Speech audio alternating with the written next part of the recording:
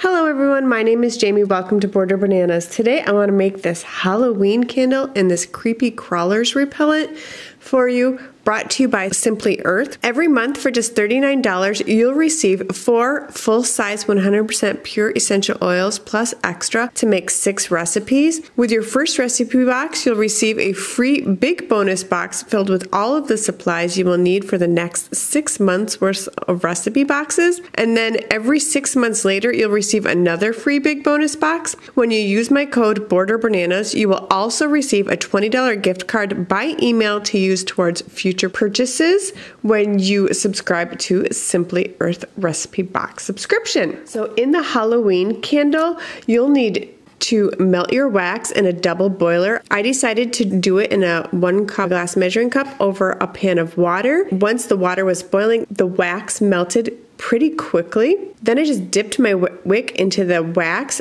to stick it to the bottom of the jar. It worked really well. Once the wax was all melted, I used a popsicle stick to uh, stir the wax. I added 10 drops of rosemary essential oil, 20 drops of citrus burst essential oil, and just mixed them well and poured them into the bottom of my little mason jar here.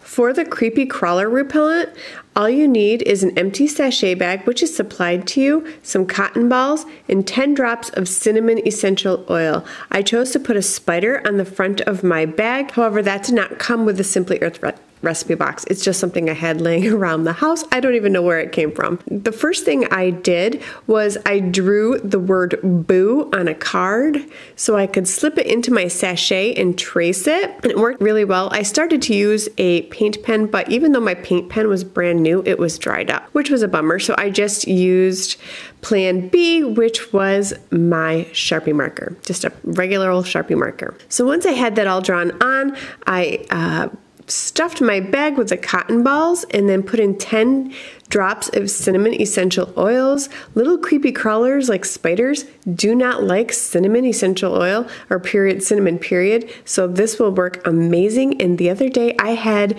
a huge spider run in my house from the front door when we opened it. So that is exactly where this little bag is going. And I really like the way this one turned out. Super simple and easy to do and an all natural remedy for getting rid of those little creepy crawlers. So remember, I'll have the links down in the description box below. Thank you all so much for watching and have a great day. Bye.